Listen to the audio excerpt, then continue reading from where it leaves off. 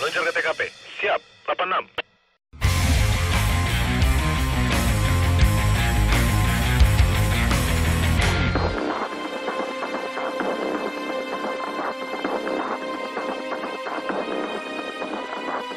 Sudah ada satu personel kita tanam di dalam. Tadi ngasih informasi kurang lebih ada 20 kendaraan anak-anak muda yang protolan. Makanya nanti kita cek di sana seperti apa. Di Taman Kraksan sering dijadikan tempat eh, remaja ini untuk nongkrong-nongkrong di situ. Kadang-kadang mereka juga mengonsumsi minuman keras. Kita langsung beriringan langsung ke lokasi tersebut.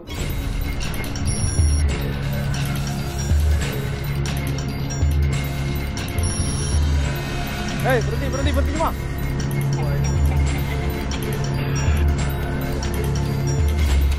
Para remaja yang di taman ini melihat kedatangan petugas, mereka semua berusaha langsung lari. Ngapain lagi, Man? Pulang ya Pak. Ya Pak. Surat-suratnya mana? Nggak ada, Pak. Hmm? bawa Pak. Gak bawa surat. SIM-SIMnya? Nggak ada. Ini punya Bapak tinggi nih Pak. Hah, hah. Eh, ke sini. Enggak Pak. Ah, ah. Terus minum. Enggak Pak. Hmm? Mana tadi? Minum di mana tadi? Eh? Di mana? Di mana? Botolnya di mana? Botolnya ada di sini Pak. Hmm? Saya kan Minum ke mana tadi? Minum di mana? sana di pesisir. Teman-teman mana mana? Ya memang tantangan di lapangan seperti itu kan. Ketika kita ya mungkin mereka merasa terusik ataupun terganggu dengan kegiatan Cipkon kita, yang jelas kita melaksanakan tugas. Tugas kita di situ adalah menjaga keamanan ketertiban masyarakat kan gitu. Jangan ada yang bicara.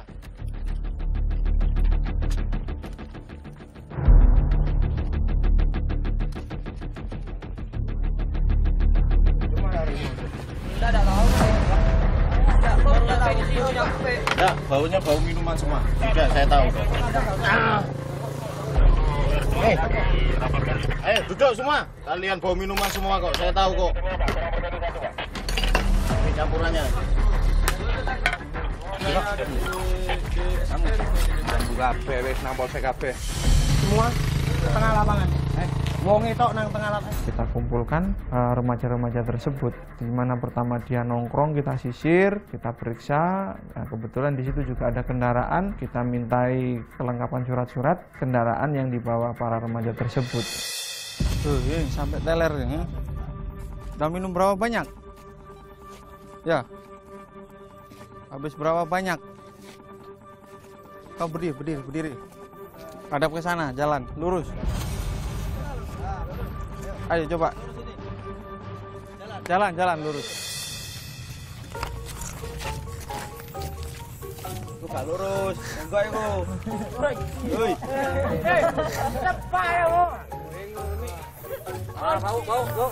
dari caranya dia ngomong jalannya sudah nggak stabil kan Nah, dari situ kan kita bisa melihat dia itu juga terpengaruh oleh minuman keras itu Rumahnya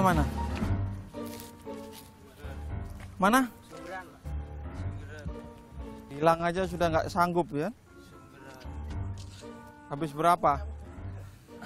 Hmm? Tadi habis berapa? Minum habis berapa botol? Hmm? Pelajar Pak. Pelajar.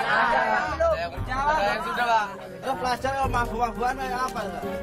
Siapa? ya memang di sini dibutuhkan peran orang tua yang sangat besar kan gitu harusnya sebagai orang tua kita kan sudah bertanya-tanya mengecek keberadaan anak-anaknya tersebut nah ini kan su- sudah jam-jam bukan waktunya main kan gitu Besok mau ngambil surat pernyataan orang tua, ya? Ya. Biar orang Ke mana, Pak? Di kantor Polres Probolinggo. pulangnya, Pak. Ya terserah itu resiko. Ini saya tujuannya agar orang tua adik-adik sekalian tahu. Adik-adik ini harapan orang tua yang di rumah sana. kita kumpulkan semua kita berikan pesan-pesan himbauan Kamtipmas agar dia tidak mengulangi lagi perbuatannya tidak mengulangi lagi minum-minuman keras dan tidak mengulangi kenakalan-kenakalan yang lain Masa pelajarannya ngerti apa kalau pelajaran? Eh, satu tambah satu berapa? Dua. Dua tambah lima? Ah, ya kan? Lemot kan? ya, lemot kan? Kalau kalian banyak minum ya lemot kayak gini. Apalagi kalau banyak pil. Ya. Ya, Pak. Nanti tanya pacarnya, eh? Eh? Kayak gini. kembali lagi ke sasaran ataupun yang jadi prioritas dari Satlantas Polres Probolinggo sesuai dengan perintahnya Kapolres terkait dengan penindakan kendaraan yang tidak sesuai dengan pekteknya dengan tindakan kita amankan kendaraan tersebut gitu.